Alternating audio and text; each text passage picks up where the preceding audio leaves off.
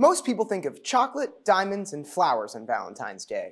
In Lexington, there's also donuts. Chaz Chapel and Claire Hamlet have the story. Before the sun rises on Main Street, the smell of freshly made donuts fills the air inside the white brick building that houses Pure Eats in Lexington.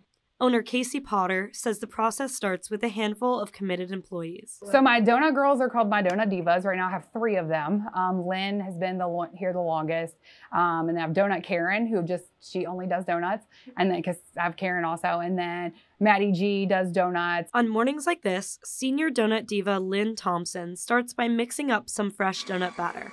Thompson says she started in 2015 as a fry cook and moved into donut making to fill a vacancy. And I've been doing them ever since. Thompson starts by mixing a cake mix into batter. She then pours the batter into what Potter calls the donut robot. After the machine fries each donut, Thompson sets them out to dry to prepare for icing. Potter says she lets the donut divas call the shots on flavors and decoration. So really, whatever they're in the mood for, you can always tell like when they're creative. Pure Eats rotates through seven featured daily donuts each week. Thompson and her fellow divas usually make about 250 donuts a day. And I have the best staff in all of downtown. Like I try to tell everyone that. Potter says she and her donut divas plan to make over 3,000 donuts for Valentine's Day. She says they'll work overtime to meet the demand.